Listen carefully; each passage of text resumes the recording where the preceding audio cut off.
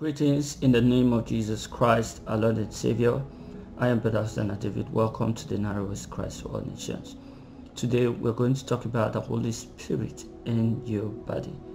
As a matter of fact, I want us to follow a series, uh, maybe for the next three weeks or more, and talk about the Holy Spirit, the gifts of the Spirit, and contemporary Christianity there are important issues I actually want us to look at because a lot of things are wrong. Ignorance is ruling many who are Christians and because of the ignorance they are being enslaved to different kind of people. The gifts that are supposed to be that are supposed to be used to serve the church are being monetized and a lot of people have been carried away and have been I mean, really enslaved. Let's pray. God, thank you for all your goodness and your mercy. We ask, O oh Lord God, that you speak to our hearts. May your Holy Spirit distribute to us. I have nothing to offer to your children. But Lord, if you can just rest upon me through your Spirit, I will be filled. I will be inspired to bless our hearts today. In Jesus Christ's name we pray. Amen. For those of you who are not yet following this page or have not subscribed, please subscribe and also follow us. Don't forget to turn on the notification bell so that you can receive update, updates. Then if you want to contact me, my contact details are on the screen. So today I said we're talking about the Holy Spirit in your body. There are important things I actually want us to look at today. And each of these things are actually very, very important. I first of all I want us to read the text um, for today and the text is Joel chapter 2 28 and 29 and it shall come to pass afterward that I, and it shall come to pass afterward that I will pour out my spirit upon all flesh. And your sons and your daughters shall prophesy, and your old men shall dream dreams. Your young men shall see visions, and also upon the servants and upon the handmaids in those days will I pour out my spirit. I purposely choose this test for today because I there is something that I like about it and that is your um, that is the all all flesh. And I that I will pour out my spirit upon all flesh. Today a lot of people believe that it is only a pastor that must be anointed. It is only a prophet or a bishop or teacher or an evangelist that is qualified to receive the anointing of the Lord. But it is not like that. Everybody, so long as you are flesh, all flesh are qualified. And this is where ignorance is ruling a lot of people. Those who don't actually understand this, they forget that today we don't operate the type of priesthood that existed in the Old Testament, today everybody is a royal priesthood. Everybody who is in Christ is a royal priesthood and they belong to this holy nation. And each and every one of us, we are qualified to house the Holy Spirit. Body is the temple of God and the Spirit of God dwells. So if you feel that, oh, the all flesh here is they are some selected set of people. You are totally wrong. It is upon all flesh, including servants, including male servants, female servants, everyone, your sons and your daughters, including the old men, the old women, everyone. This is one of the terms of the new covenant. And until we come to understand this, we will never get it right because this is why the devil is cheating uh, a lot of people, a lot of people believe that they are Christians, but they are servants of men and they are worshiping human beings instead of worshiping God. It is time to know the truth because it is only the truth that can actually set free. The lies, lies lead to lead to imprisonment. Lies lead to enslavement. So today I want to talk about, uh, I want to introduce us to three main things. Three main things I want us to understand as we look at today's message. Number one is having the Holy Spirit as the seal of ownership. Um, a lot of people think that the Holy Spirit is something that only the GO, only the man of God must receive and if you don't have the Holy Spirit, uh, it means it doesn't actually mean anything because after all you just a man. And um, you are not a pastor so you don't actually need him. You don't need the Holy Spirit. Maybe you could just um, speak in uh, tongues if you are taught to speak in tongues. But this is not like that.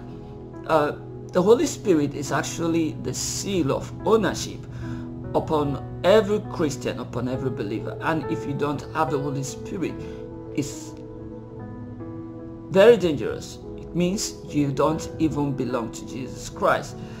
Uh, Romans chapter 8 verse 9 says, But ye are not in the flesh, but in the spirit, if so be that the Spirit of God dwell in you. Now, if any man have not the Spirit of Christ, he is none of his. It is so serious that the Bible says that if you don't have the Spirit of Christ, it means you don't even belong to him. So having the Spirit of God is very, very important. Do you have the Spirit of God? Look at it. Now, if any man have not the Spirit of Christ, he is none of his. There are many people, that is the truth, who are in the church today who do not have the Holy Spirit. Then the second thing I want to talk about is being anointed and manifesting the gifts of the Holy Spirit. If you are anointed, you are supposed to manifest the gifts of the Holy Spirit. Uh, Acts of Apostles chapter 1 verse 8 says, But ye shall receive power. After that the Holy Ghost, after that the Holy Ghost is come upon you, and ye shall be witnesses unto me in Jerusalem and in all Judea and in Samaria and unto, unto uh, the uttermost part of the earth. This came to pass in the day of Pentecost. Then the third thing I also want to let us know that it is not only a pastor that is qualified to be anointed. Everyone that believes in Christ is actually qualified. So why do we feel today that it is only one powerful man of God who is the general overseer, who is a prophet, who is a pastor, who is everything that must hear from God. That is not the old, the New Testament Christianity. That is the Christianity of the enslaved minds. It is not we are all brethren. Be a bishop, be a, uh, a prophet, whatsoever name or office you are called into, or any name you give to yourself, we are all brethren. And our gifts are to be used to serve the church, not to monetize, not to be monetized and uh, use them to enslave people. Now, let me make you understand a few things before continuing this message. Uh, in Genesis chapter 1 verse 7 the Bible uh, chapter 2 Genesis chapter 2 verse 7 the Bible says God breathed into the nostril of man and man became a living soul uh, in Genesis chapter 3 man fell and because of the fall the the Spirit of God departed from him to a very great degree. The fellowship was reduced. The fellowship between him and God was reduced because sin is a barrier. Then if we journey forward to Genesis chapter 6, uh, especially verse 3, we see that God said that his spirit will no longer strive with man because he is ordinary dust and that his years will be reduced to 120 years. Why? Because of sin again. It was, this time it was another level of involvement in sin. So we see that it is actually sin that drives the Spirit of God away. A lot of people feel today that, oh, uh, I'm not worthy to carry the Spirit of God. I'm not worthy to receive the anointing. I'm not worthy to be used by God uh, because I, I have I don't have the call of God. it's not like that. Everyone supposed to be a carrier of God himself. We are the temple of God. I tell you, your body is the temple of God. From the beginning, we have been created to house God. We, uh, not only a set of people, we actually created to house the Spirit of God. Every single human being was created for this purpose. So it is sin that has been the problem. And until we realize this, we will not be able to function well. Sin as a problem. Is a major problem before you talk about dedication. So, do you feel that you must receive the call of God first before you can be used by God or you feel that uh, it is for everybody. Do you have the Holy Spirit? One thing is to have the Holy Spirit. Another one is to be uh, baptized with fire. That is the baptism of the Holy Ghost. These are two different things. First of all, you must receive the Holy Spirit first. And it doesn't take much to get anointed. As we move on to this series, I pray that the Lord will give us true understanding of the scriptures. Now, look at what happened in, Gen in Numbers chapter 11, uh, 27 to 29. Uh, this was the story of Moses selecting 70 elders and God taking part of his spirit and spreading it, spreading it in them. Now, Eldad and Medad did not go to the camp meeting. They were not there. But um, they did not, even though they did not attend the meeting, they received the anointing because they have been selected. And a young man ran and told Moses that, Sir, Elder, and okay, let me read. And there ran a young man and told Moses and said, Eldad and Medad, do prophesy in the camp. They are not in the meeting, but they are prophesying. And Joshua, the son of Nun, the servant of Moses, one of these young men, one of his young men, answered and said, My Lord Moses, Forbid them. Stop them. And Moses said unto him, Envious thou for my sake? Would God that all the Lord's people were prophets, and that the Lord would put his spirit upon them. He said, Oh, I wish that everyone would be anointed by God Oh, how I wish that everyone could become a prophet. Everyone of God's children could become a prophet and prophesy. Don't envy them. So this thing is not just for some people. Even Moses wished that, or oh, I wish everyone. There's no need to stop them because I wish even that everyone should become a prophet. It is sin that reduced our relationship, our closeness to God. Look at Genesis chapter 6 verse 3 that I talked about. And the Lord said, My spirit shall not always strive with men, for that he is also flesh. yet his days shall be an hundred and twenty years. He is also flesh. I know he is spirit. I know he is spirit. But he was flesh first. Before I put my very life, the breath that made him a spirit before I put it in him. He is also flesh. And because of that, his years must be reduced so that he doesn't continue to live so long and continue to do evil. Now, let me let you know something. If you look at the Old Testament, God put his spirit in man. He was initially just molded clay. But after God put breathed into him the breath of life, he became a living soul. And when man started falling and falling and falling, how do we see someone living uh, 120 years today? As a matter of fact, the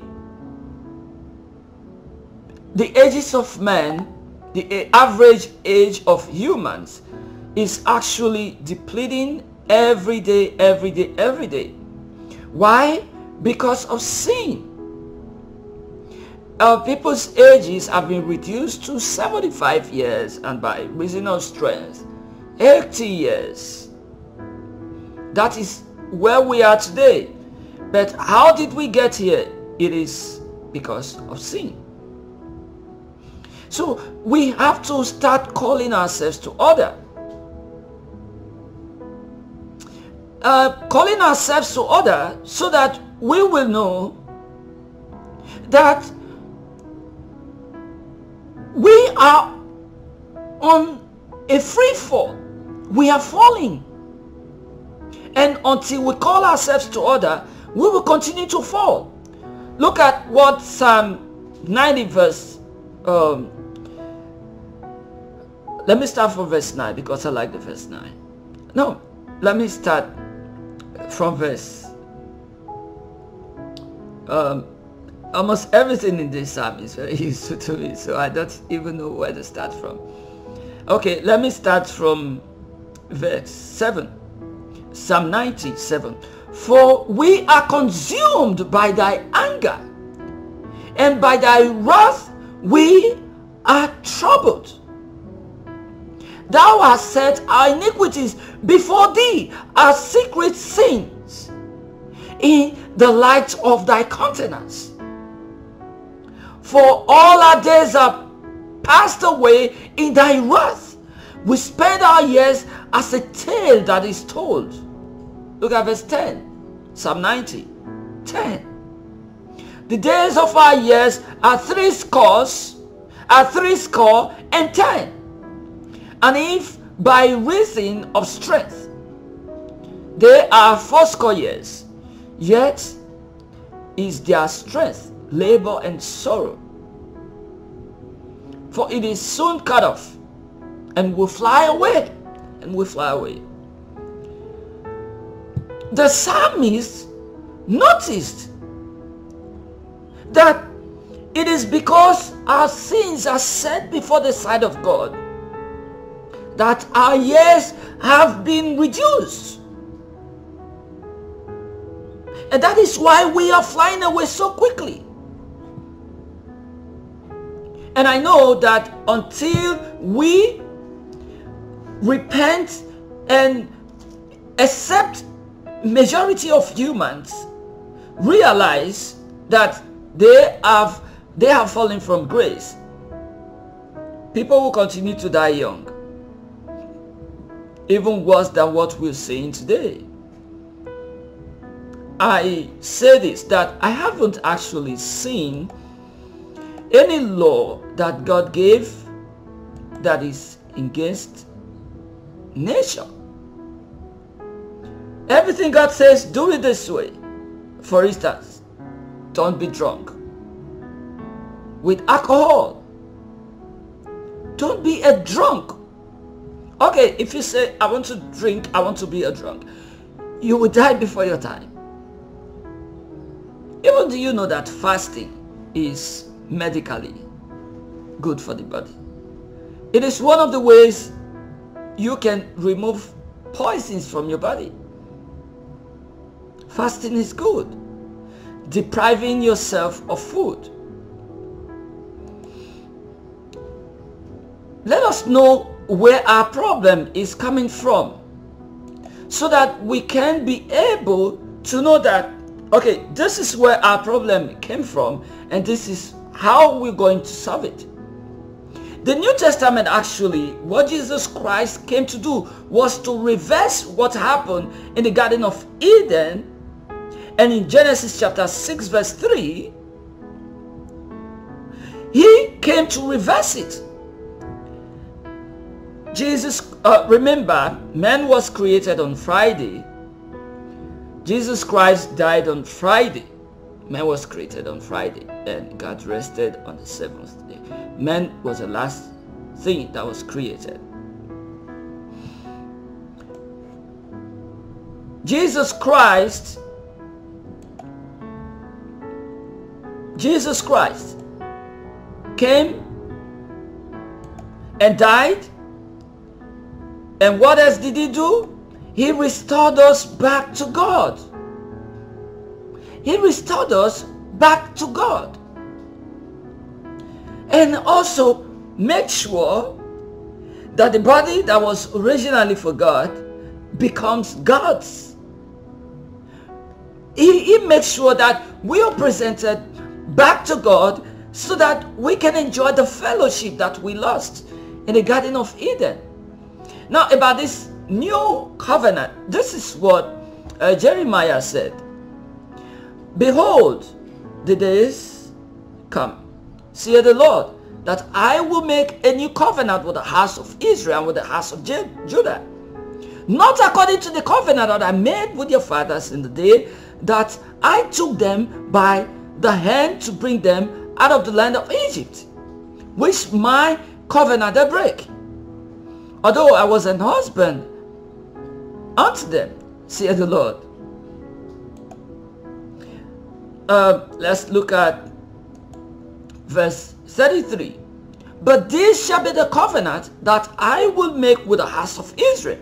After those days, saith the Lord, I will put my law in their inward parts and write it in their hearts and will be their God and they shall be my people. So this New Testament is a new one entirely. It has new terms. Testament means covenant. So when you look at your Bible, it is made up of two parts. The Bible is divided into two major parts. The Old Testament and the New Testament. You can say the New Covenant and the Old Covenant. Or you can say the very simplest form the old agreement and the new agreement. What is this agreement? It is the agreement between god and man. And this time around god says it's not going to be like the old. This time around he's going to write his laws in our hearts. And he will be our god and we will be his people. As a matter of fact if you read downward you will see the operation that because my spirit is going to be in you, you don't even need any teacher anymore. Because my spirit is going to teach you. Now, look at how this is going to work. Ezekiel 11. 11, 19 or 20. And I will give them one heart. And I will put a new spirit within you. Look at it. This is about the new covenant. And I will take the stony heart out of thy flesh and will give them an heart of flesh that they will that they may walk in my statutes and keep thine ordinances mine ordinances and do them and they shall be my people and i will be their god these are the terms of the new covenant. So if God says he is going to release his spirit upon all flesh, according to Joel chapter 2, Verse 28. And it shall come to pass afterwards in the last days. This was exactly what happened on the day of Pentecost. Peter had to refer these people back to the scripture that this is what the scripture says. That I will put my spirit upon all flesh. Upon all flesh. Not, um, not upon only pastors. Not upon just prophets, but upon all flesh. Men, why are you serving your fellow men? Why have you been so much enslaved? I know the call of God upon my life, but even as a child, I used to hear from God. I have dreams I wrote down from around 2000 yeah 2000 2001 2002 i have a book. I wrote things god revealed to me about my future. I wrote them down. Some of the instructions he was giving me i wrote them down. That's about that's over 20 years ago i wrote them down and i will be 40 by this october 14 So who told you that God cannot speak to you? Why enslave yourself? Don't be servants of men. Be the servants of God. The gifts of the Spirit, they are for service. The Holy Spirit is for ownership. Mainly for ownership. If you don't have the Spirit of Christ, you don't belong to Him. That is why immediately you are accepting the Lord, the Lord comes into you. His Spirit, you, you may not necessarily speak in tongues, in tongues when He comes. Speaking in tongues is one of the physical evidences of the Holy Ghost baptism. But when you give your life to Jesus Christ, when you repent of your sins, and the Holy Spirit comes into you, you may not speak in tongues, but that doesn't mean that you don't have the Holy Spirit. Now, let's look at 1 Corinthians chapter 4. Uh, we will read 4 to 8. Uh, 1 Corinthians chapter 12 verse 4 following. Now there are diversities of gifts, but the same Spirit and there are difference, differences of administration, but the same Lord. And there are diversities of operations, but it is the same God who worketh all in all. But the manifestation of the Spirit is given to every man to profit with her. Every man. It is given to every man. Why have some of us chosen to be slaves of men? you see people, uh, the level of respect some men of God get today shouldn't actually go to them. I'm not saying you shouldn't respect men of God. There are people I call daddy. I dare not even call them uh, Papa this and call their names. I dare not even call their names. I call them daddy. But what I'm saying is that some of us are actually giving the respect we're supposed to give to God to men, which is wrong. Don't worship men. Some of you, your life is in the hand of a prophet. Some of you, you have made some prophets your gods. You think you are just honoring them, but this is beyond honor. It has graduated from honoring honor to worship. That they could tell you just anything and you you obey. You don't even question anything because you have been taught. And not just thought you have been brainwashed. That the day you question the authority, that day you are gone. And you don't even know that the Bible wants us to test every prophecy. Um, some of you think that um, your prophets are superheroes, they are superhumans, and by reason of that, you don't even need to question anything. They tell you because you feel that they are sitting in the seat of God and that the day you question anything they tell you, that day they are going to take your life from you or they will lock the gates of life against you. But this is not true.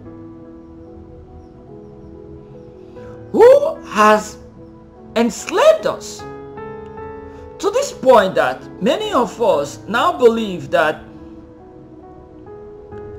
looking at the Bible and comparing what your prophet is doing is actually a sin. Some of you now believe that the day you question what your prophet is doing, question it biblically, respectfully, you believe that that day you are sin against God and you are on your way to the fire of hell. Because that is what you have been taught. Now let me read for you 1 Corinthians chapter 14, 29. Okay, let me start from verse 20, 27. If any man speaketh in an unknown tongue, let it be by two, or at most by three. And that by cause, and that by cause. And let one interpret this is what is missing from many of our congregation and our services today. we speak in tongues that have no interpretation. uh, because of us. But if there be no interpreter, let him keep silence in the church. uh, and let him speak to himself and to God. So the Bible does actually forbid speaking in prof, speaking in tongues in church, but there's no interpreter. Interpreter, speak to yourself, edify yourself, and to God. Um, not you talking to congregation, you are speaking in tongues, and there's nobody interpreting, and you are not interpreting. No, the Bible says instead of that, you should keep quiet. Let the prophets speak, two or three, and let the other judge. Let the other judge. Yes, let the other people judge. The Bible says that we should judge every prophecy. Let the others sit and judge. If anything be revealed to another that's seated by, let it first hold his peace. For ye may all prophesy one by one, that all may learn, and all may be comforted. So who says that when a prophet says something, everybody must be silent and it must be swallowed, even when the Bible says that we should judge our spirits? We should judge every spirit. The Lord has used me to give some prophecies. They are posted on Eagle Eye Opener Global Outreach YouTube channel and on my website, eagleeyeopener.com. I have never resisted anybody questioning what God showed me. Some of those prophecies are on biblical sexual purity when it has to do with human sexuality. I post them on biblicalsexualpurity.com.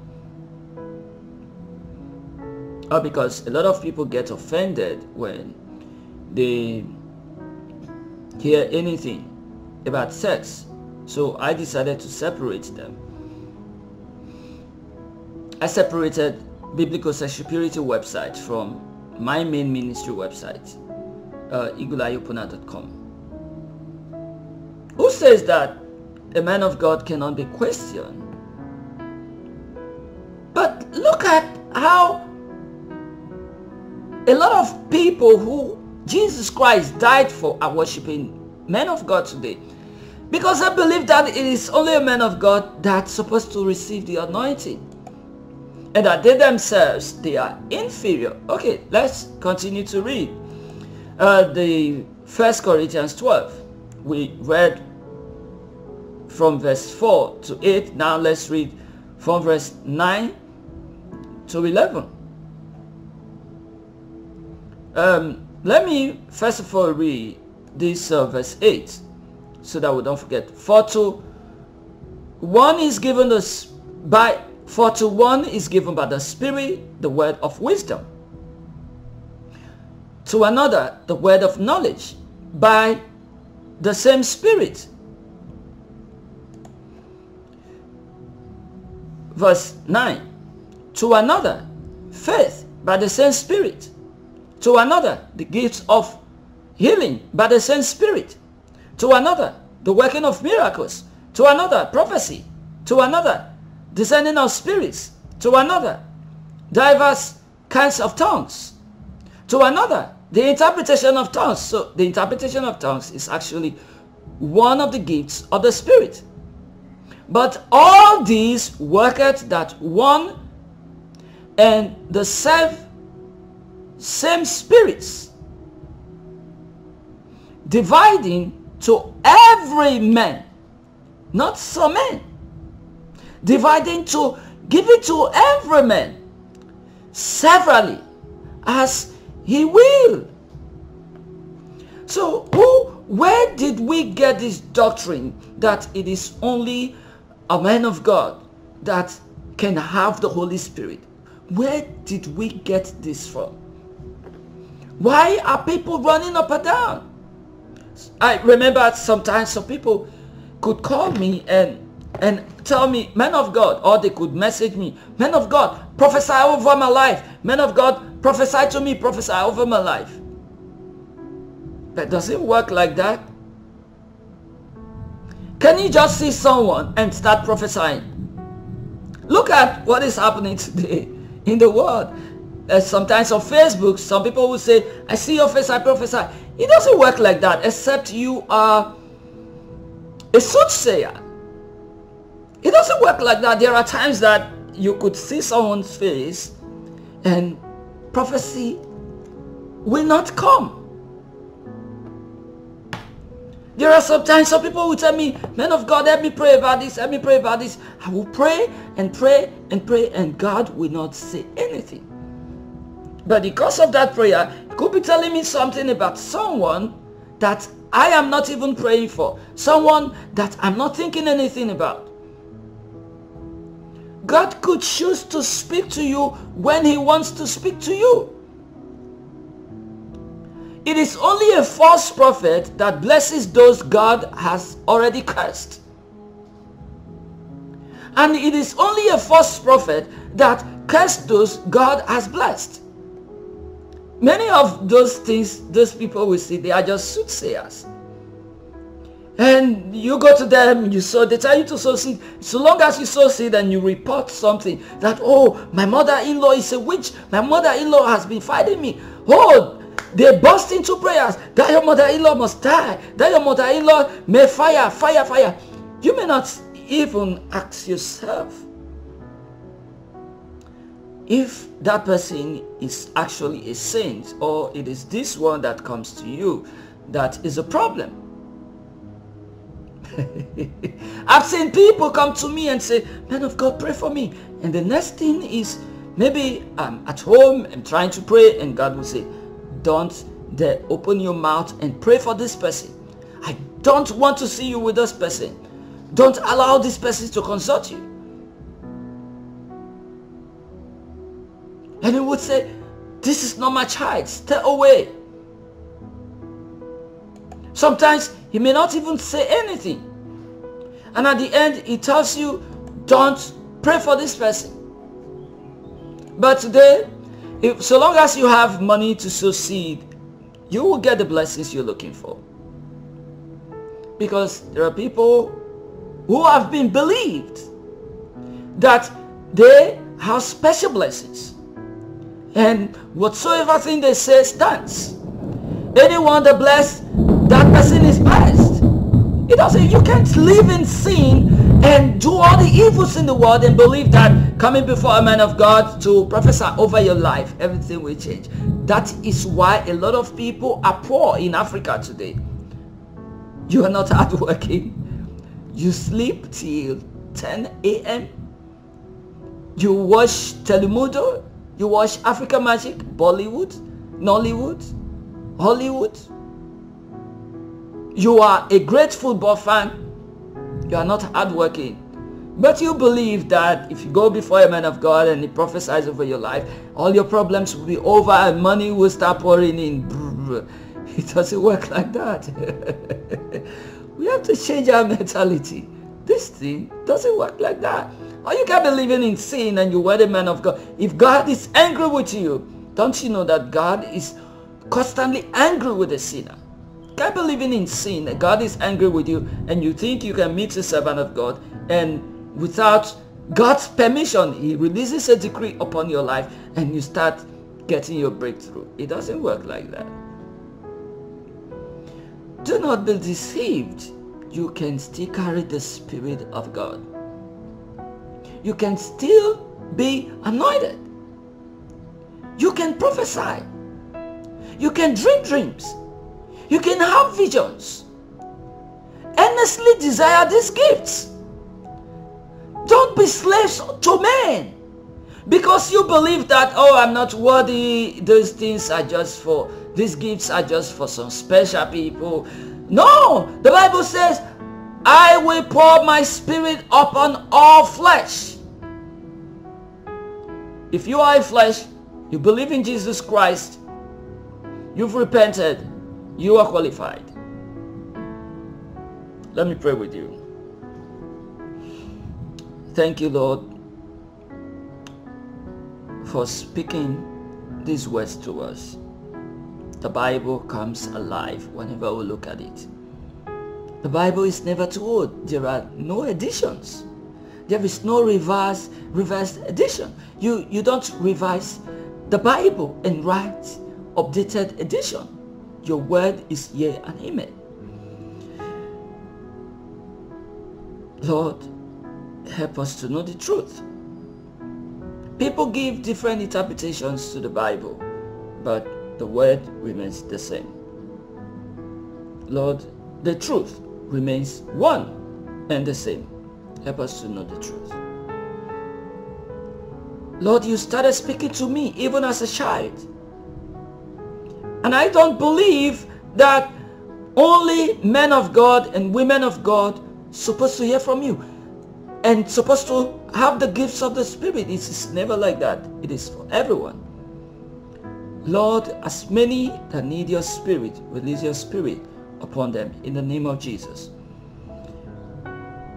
Father, release your spirit upon these your children.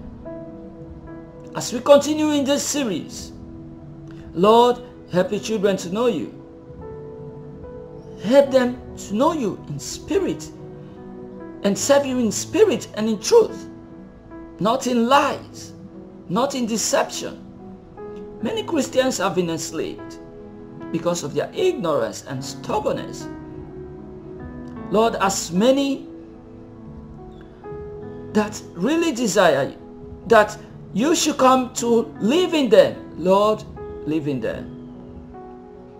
Only if you can open for the Lord, only if you can open, only if you can open for Him.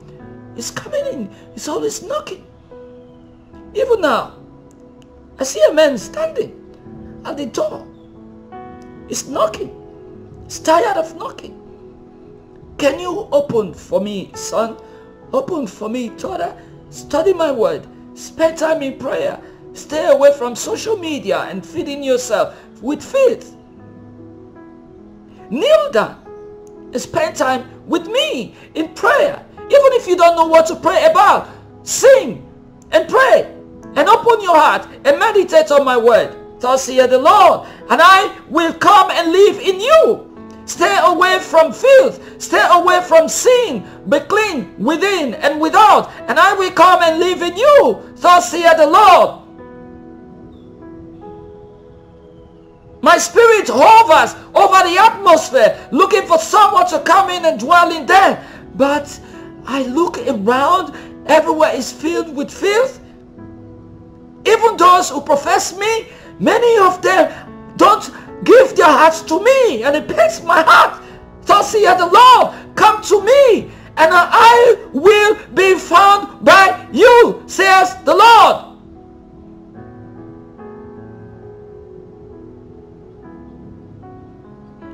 Lord, help us. Father, please help us. Who is ready to go with me? For I am, I am waiting for my children in secluded places, those who will seek me with a heart of repentance and want to find me. I am ready. I have been waiting. I'm ready to be found. By then, who is ready? Who is ready to seek my face? Who is ready to invite me? Who is ready? I am waiting. Says the Lord God of hosts.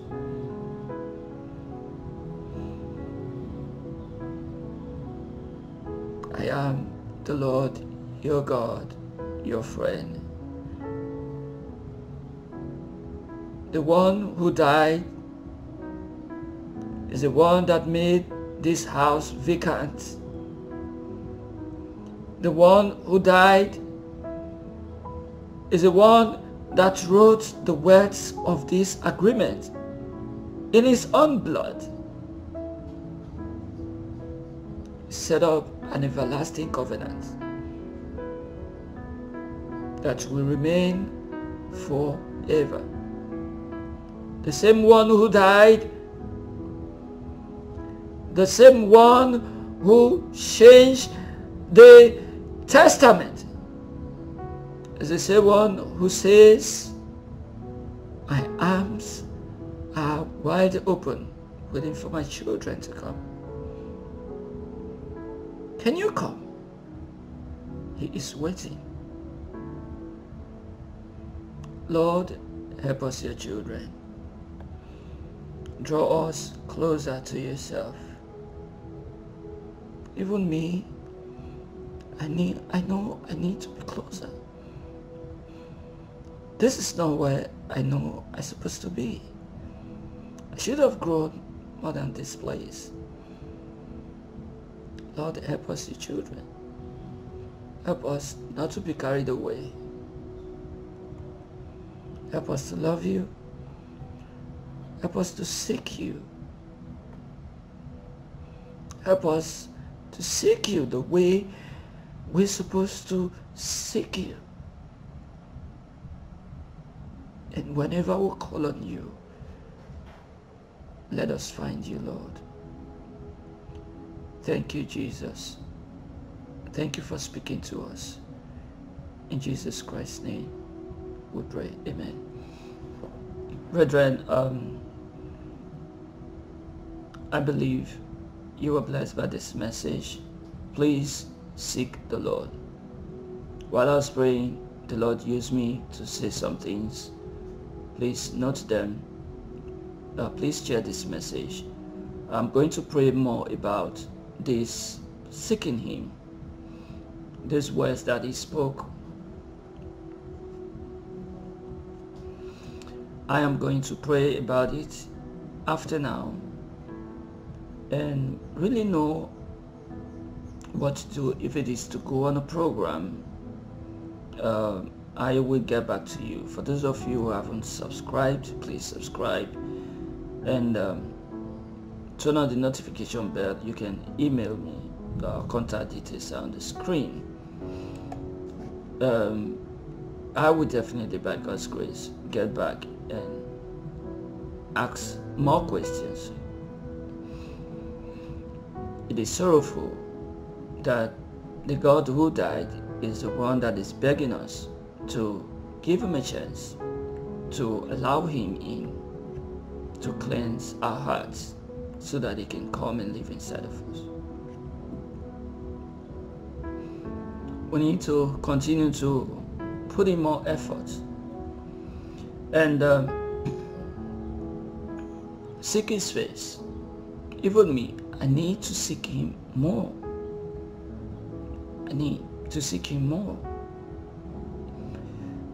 Okay, um, those of you who have been supporting us, thank you. May the Lord God bless you. Our contact, our uh, account details are on the screen, and the good news is that for those of you who are in the U.S., we have a U.S. bank account. Now it is on the screen. It's the we have an account with the Bank of America, so you can give no matter how small. Please support us, and whatsoever thing you give, we use it to run this ministry and also pay the school fees of the children we have on uh, on scholarship. We have over 70 children. Now, some of them are at the university.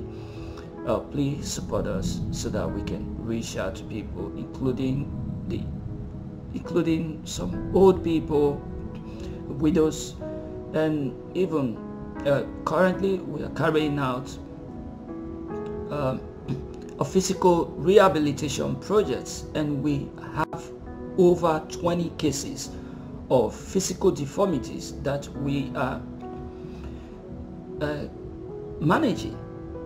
We are carrying it out right now. Uh, we don't need to continue to pray until God heals those who are deformed if we can do it medically we have to do the ones we can and let God heal the ones he wills to heal. Thank you for those of you who have been supporting us. May the Lord God Almighty bless you. Please share this video with someone and don't forget that Jesus Christ loves you so much. God bless you. See you next time. Bye bye